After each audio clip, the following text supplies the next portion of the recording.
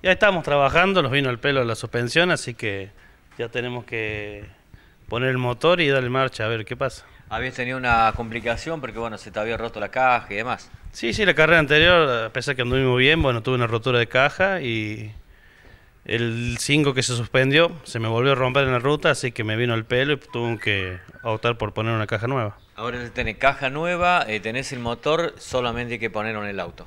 Sí, hay que ponerlo en el auto y salir a la ruta, hacer unas tiradas, a ver cómo anda todo y bueno, y ir el domingo a Bulne. Eh, la verdad que hace un rato em, recién hablábamos sobre cómo está el campeonato, quedan dos fechas nada más y eh, sacamos cuenta que hay cinco que tienen posibilidades. Sí, sí, estamos terceros, pero bueno, eh, hay 70 puntos en juego creo, pero bueno, yo no, no voy por el campeonato porque me parece que estoy lejos, pero bueno, vamos a tratar de llegar lo más adelante que se pueda. Sí, de cualquier manera, estando el auto en pista uno hace lo que puede y siempre y cuando el auto aguante, no, no es tan difícil, tan fácil. Sí, sí, sí, sí, pasa que, bueno, es un año que hemos tenido muchas roturas, esta última carrera empezó a andar bien. Y bueno, el auto se ha encontrado, anda bien y bueno, vamos por el buen camino, si Dios quiere, ya pensando el año que viene. ¿Te da tiempo de ponerlo? Bueno, estamos ya a mitad de semana para tenerlo, porque hay que probarlo todavía. Sí, yo calculo que esta noche ya lo vamos a tener en marcha y bueno, ya mañana pasado probaremos. Sí, pero tiempo, gracias a Dios, va a sobrar.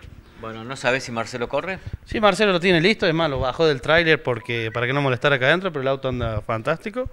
Y bueno, también esperando el domingo porque para mí este auto va a andar muy bien. Manda bien. Bueno, gracias como siempre, Marco. No, gracias a vos, bueno, a todos los que me ayudan, los chicos, a mi viejo Morra, a Esteban que me ayudó con el motor, bueno, y a todos.